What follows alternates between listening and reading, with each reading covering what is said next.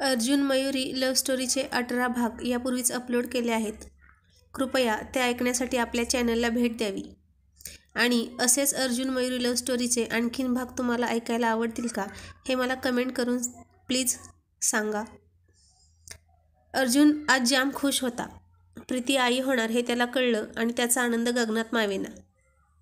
ए पण मयू तिनं हे मला का नाही सांगितलं? तुलाच फोन दे म्हणाली. मला सांगितलं असतं तर काय झालं असतं?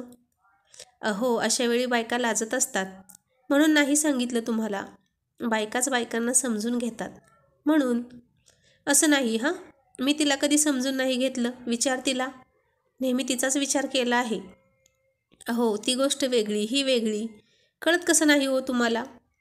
बरं बाई ठीक आहे. अहो पण तुम्ही मगाशी म्हणालात ते अगदी खरं आहे बरं का? काय गं? हेच की तिचा नवरा खूप मेहनती आहे. आणि पुढचं बोलण्याआधीच मयुरी खूप हसायला लागली. तिला हसूच आवरेना. गप्प बस ग चावट कुठली? का का मगाशी तर खूप कौतुक करत होता की त्यांचं. प्रामाणिक मेहनती कष्टाळू. रात्रंदिवस कष्ट करावं तेव्हा यश मिळतं. बघितलं त्यांना कसं त्यांच्या कष्टाचं फळ मिळालं? आणि पुन्हा ती हसायला लागली. पण तू कुठे मला रात्रंदिवस कष्ट करू देतेस? लगेच दूर जातेस. कारणं सांगून त्यानं तिच्या डोळ्यात डोळे घालून पुन्हा तिला जवळ घेतलं. तिची नजर लाजून खाली गेली आणि ती विरघळायला लागली. हे त्यानं ओळखलं. तिची नजर झुकली की त्याला समजायचं की तिची संमती आहे. अहो ती आता हळू आवाजात म्हणाली काय ग? प्रीतीने बोलावले आहे तिची चोरोटी भरावी लागणार ना? ते काय असतं? त्यानं तिचे मो केस मोकळे करत विचारलं.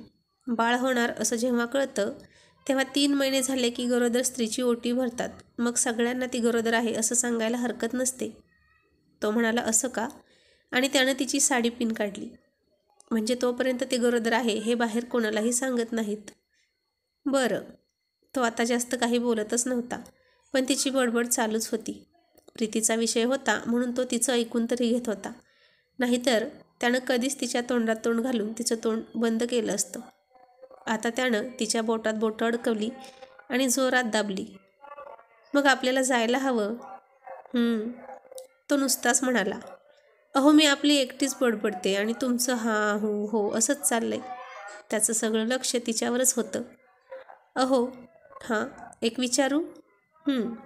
प्रीती गरोदर आहे हे कळल्यावर तुम्ही किती आनंदित झालात. मग जेव्हा मी गरोदर राहीन हे तुम्हाला कळेल तेव्हा किती आनंद होईल. तो गप्प.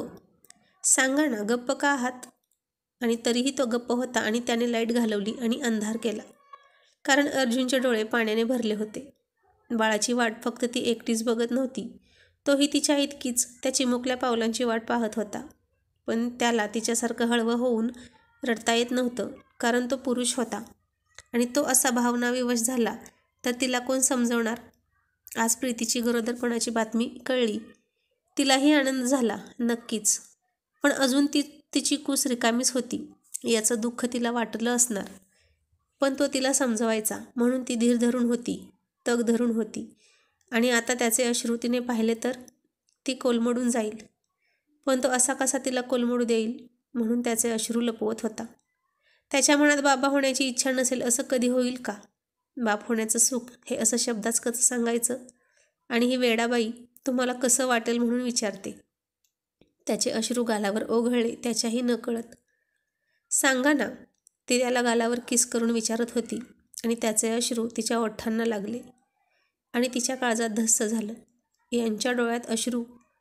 एरवी माझा चंद्र मला उजेडातच बघायला आवडतो असं म्हणून त्यानं त्यांच्या एकांताच्या क्षणी कधीच लाइट बंद केली नव्हती. आणि आता त्यानं लाइट का बंद केली हे तिनं ओळखलं. आणि तिच्या प्रश्नाचं उत्तरही दिलं नव्हतं त्यानं. म्हणजे तोही भाऊक झाला होता. आतापर्यंत फक्त प्रीती सासरी गेली तेव्हा तिने त्याला रडताना पाहिलं होतं. आणि आज तो त्याचे अश्रू तिच्यापासून लपवत होता.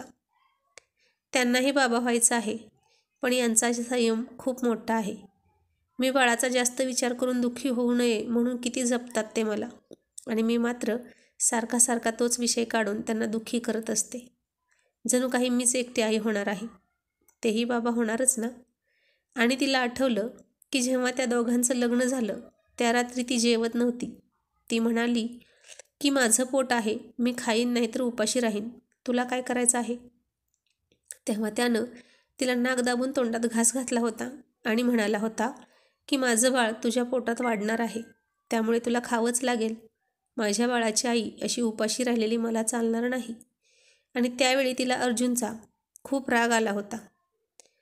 इथे ती त्याला नवरा म्हणून स्वीकारत नव्हती आणि तो बाळाची स्वप्न पाहत होता. किती वेडा होता ना तो. त्याचा तिरस्कार करता करता तीच कधी त्याची झाली हे तिलाही कळलं नाही. आणि तिचं आता त्याच्या बाळाची आई होण्यासाठी आतुरली होती. आज त्याचे अश्रू पाहून तिला हे सगळं आठवत होतं. तिचेही डोळे भरून आले. मग तीही ठरवते की यापुढे होईल बाळ होईल तेव्हा होईल. आपण स्वतःविषयी काढायचा नाही. अहो. अहो. झोपली की काय स्वारी? अहो अर्जुनराव तिनं त्याला विळखा घालून विचारलं. काय ग? असा बऱ्याच वेळानं म्हणाला. कारण त्याचा कंठ दाठून आला होता. आणि तो बोलला की तिला कळेल. म्हणून तो गप्प होता. मग ती म्हणाली आज मी खूप दमले. झोपू का? एरवी त्यानं त्याच्या स्पर्शाच्या जादूने तिची झोप उडवली असती पण आज तो लगेच हो म्हणून तिला कुशीत घेऊन झोपला. सकाळी ती म्हणाली उद्या आपल्याला जायचं आहे. थोडीशी खरेदी करूया आणि जाऊया. आणि तो म्हणाला जाणं गरजेचं आहे का गं? नाही गेले तर नाही चालणार का? त्याचा मूड अजूनही ठीक नव्हता. का हो? असं का म्हणता? काल तर किती खुश होता मामा होणार म्हणून आणि आज असं बोलताय. आपण नाही जाणार मग तर कोण? आणि नाही गेलो तर प्रीतीला किती वाईट वाटेल. आपणच तेवढे आहोत तिच्या माहेरचे. आणि चोर ओटी ही माहेरचीच असते. तो नको जाऊया म्हणत होता कारण तिथं गेल्यावर पुन्हा मयुरीला बाळासंबंधी प्रश्न विचारून बायका भांडावून सोडतील आणि पुन्हा ती दुःखी होईल. आणि त्याच्या मनातलं मयुरीला कळलं होतं. मग तिने त्याच्या हाताला पकडून सोफ्यावर बसवत त्याला म्हणाली मला माहीत आहे तुम्ही असं का म्हणताय? माझ्यासाठीच ना. पण मी आता ठरवलं आहे कुणी काहीही बोललं तरी मनाला लावून घ्यायचं नाही किंवा जास्त विचारही करायचा नाही. नशिबात असेल तेव्हा होईलच की बाळ. आणि नाही झालं तरी हरकत नाही. हे बाळ आहेच की मला? याचंच करता करता माझ्या नाकीनं येतात. आणि कोणी विचारलं तर मी असंच सांगणार बिनधास्त. आता मीही सगळ्यांना अर्जुन स्टाईलने उत्तर द्यायला शिकणार आहे. नाहीतर इतके दिवस तुमच्याकडे क्लास लावले आहेत. त्याचा काहीतरी फायदा होऊ दे की. आणि तिचं बोलणं ऐकून त्याला आश्चर्य वाटत होतं. आणि बरंही वाटत होतं. आणि ती पुढे चावटपणे म्हणाली पण हां आपण मात्र प्रामाणिकपणे दिवसरात्र मेहनत करायची हां? यश नक्की मिळणार. काय अर्जुनराव? आणि तो गोड गोड हसायला लागला. पण थोडंसंच. नेहमीप्रमाणे दिलखुलास विलोभनीय नाही हसला. आणि तिनं त्याला छातीशी घट्ट पकडलं. तोही लहान मुलासारखा तिच्या कमरेला मिठी मारून बसला. त्याला वाटत होतं की रात्री तो रडत होता हे तिला माहीत नाही. मग ती त्याला लाँग ड्राईव्हला जाऊया म्हणाली. काय केलं की त्याचा मूड ठीक होतो हे तिला माहीत होतं. त्याला तिच्यासोबत लाँग ड्राईव्हला जायला खूप आवडायचं. फक्त तो आणि ती. तिनं आज लव्हेंडर रंगाची साडी घातली होती. हलकासा मेकअप आणि गुलाबी लिपस्टिक गळ्यात मंगळसूत्र आणि कपाळावर टिकली. आणि त्यावर त्यानं लावलं होतं तसं. जास्त मोठं नाही पण लाल कुंकू. किती सुंदर दिसत होती ती. अगदी टपोऱ्या गुलाबाच्या फुलासारखी छान टवटवीत. त्यानं तिला हॉर्न दिला. मयू लवकर. हो आले. आणि तिला पाहून तो पाहतच राहिला. त्याला आवडते तशीच ती तयार झाली होती. तिला पाहून तो मनातून खुलला आणि मनातलं गोड गोड हसू ओठांवर आलं. ती त्याच्या शेजारी जाऊन बसली. तिच्या सेंटच्या सुगंधाने वातावरण मंत्रमुग्ध करून टाकलं. छान दिसतेस असं तिला छान हसून तो म्हणाला. फक्त छान ती म्हणाली. तिला अजून त्यानं काहीतरी म्हणावं चावटपणा करावा. तिला किस करावा हात तरी धरावा अशी अपेक्षा होती. त्यानंच तर तिला ही सवय लावली होती. पण स्वारी अजूनही थोडी नाखुश होती. तो यातलं काहीच करत नव्हता. किती दुष्ट आहेत हे ती मनातून म्हणाली. तिला त्याचं नाराज राहणं सहन होत नव्हतं. रोजचे विनोदी मिश्किल तिचे अर्जुनराव आज फारच गप्प गप्प होते. आणि तेही माझ्यामुळेच असं तिला वाटायचं. छे मी बाळाचा विषय नकोच काढायला पाहिजे होता. ते होईल तेव्हा होईल पण आजचे आनंदाचे क्षण त्यामुळे मी हरवून तर बसत नाही ना. बायकांचं कसं असतं पटकन भावना व्यक्त करतात रडतात आणि लगेच नॉर्मल पण होतात. पण पुरुषांचं तसं नसतं. ते खूप संयमी असतात. सर्व घाव सोसतात पण एकदा का ते नाराज झाले की लवकर गाडी रुळावर येत नाही. तसंच अर्जुनचं झालं होतं. आता साहेबांचा मूड ठीक करायचा असेल तर मलाच काहीतरी केलं पाहिजे. असं ती मनात म्हणाली. आणि मग ती त्याला म्हणाली चला परत जाऊ. आणि ती गाडीतून खाली उतरली. का गं? चल की. तूच म्हणाली होतीस ना की लॉंग ड्राईव्हला जायचं आहे म्हणून? म्हटलं होतं पण आता मूड नाही. असं का गं? आता काय झालं तुझ्या मूडला? मी चांगली दिसत नाही ना. अगं किती छान चांगली तयार झाली आहेस.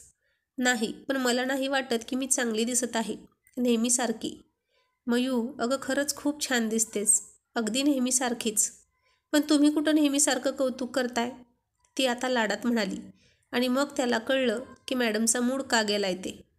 ए मयू बस बरं गाडीत. चल उशीर होतोय. नाही मी येणार नाही. मी माझ्या नवऱ्याबरोबर जाईन. तुम्ही माझे अर्जुनराव नाही ती गाल फुगवून म्हणाली. आता हे काय नवीन वेडाबाई?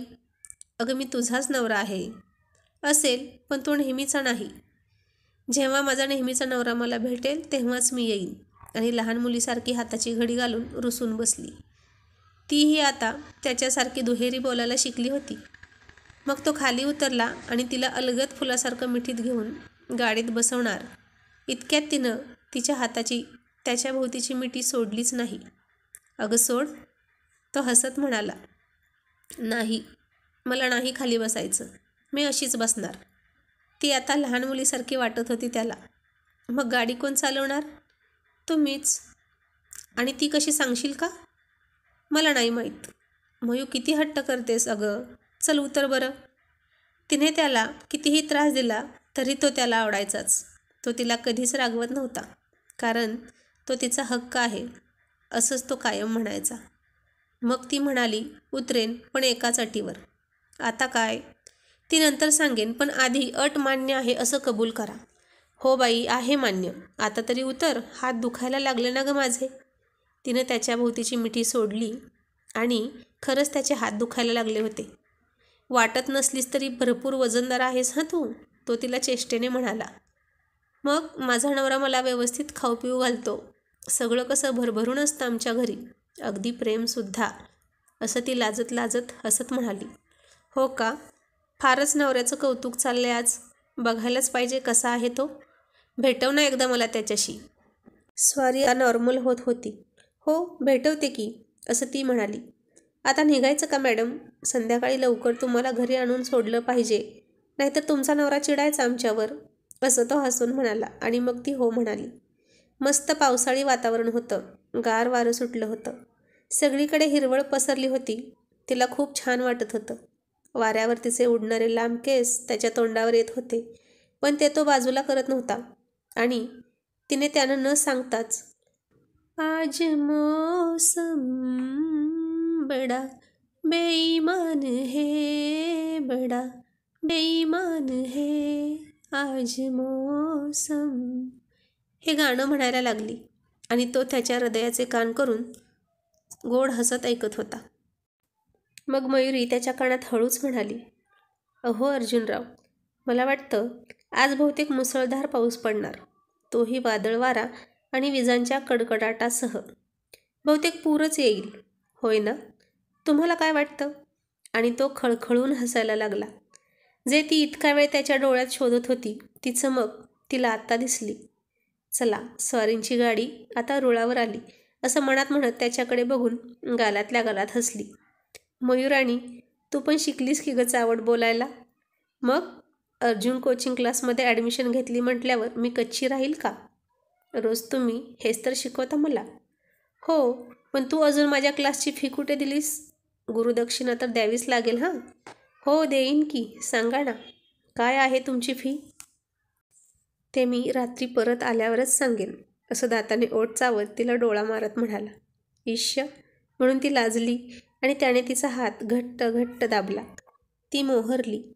त्याच्या स्पर्शाच्या आवेगाने तिला आत्ताच धडधडायला लागलं होतं. आणि आज स्वारी तुफानाप्रमाणे बरसणार हे तिनं ओळखलं.